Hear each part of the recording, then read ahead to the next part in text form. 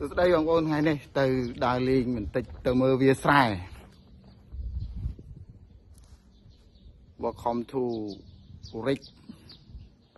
ទៅមើលវាស្រែហ្នឹងហើយបងប្អូនទៅមើលស្រែតោះទៅមើលទាំងអស់គ្នាថ្ងៃនេះនេះជារោងចក្រចឹងបានហើយ let's go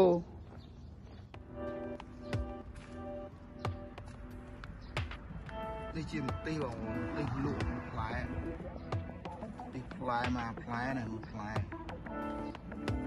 មកដើមវាមកដើមវាផ្លែចាក់ស្រេះតាំងពីដីដល់ក្រោម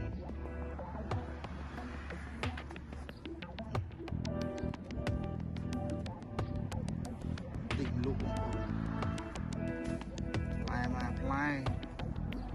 ឃើញបងប្អូនផ្លែទាំងអស់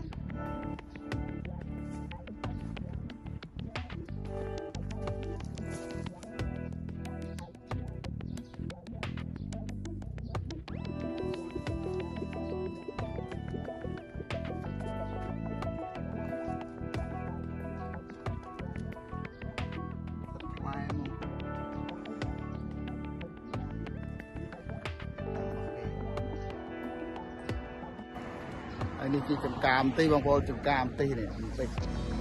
មើលម្ទេសអត់នេះម្ទេស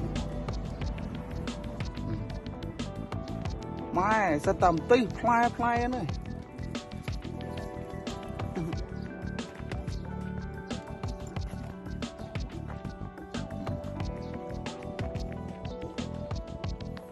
ពីខ្សោហ្នឹងមើលម្ទេសពោត ទីច្រើនណាស់អូយ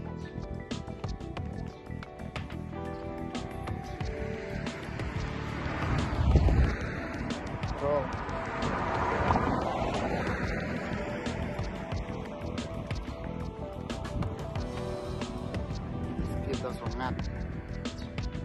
ល